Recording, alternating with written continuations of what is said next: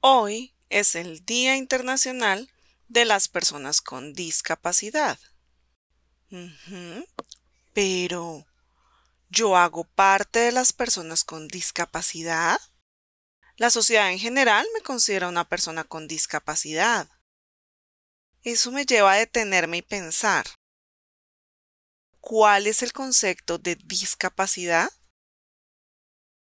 La discapacidad la crea el entorno, que no me permite relacionarme y acceder a la información efectivamente.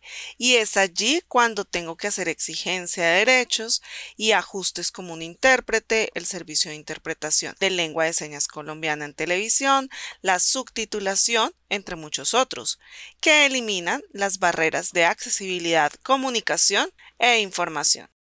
Este es un camino. Bien.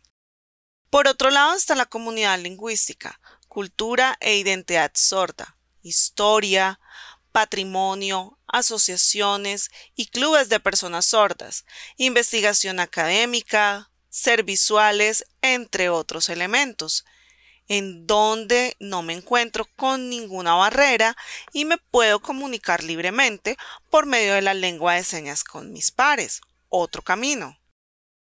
Entonces, ¿son dos caminos? Mm, ah, entiendo, yo pertenezco a los dos, es decir, tengo un enfoque dual.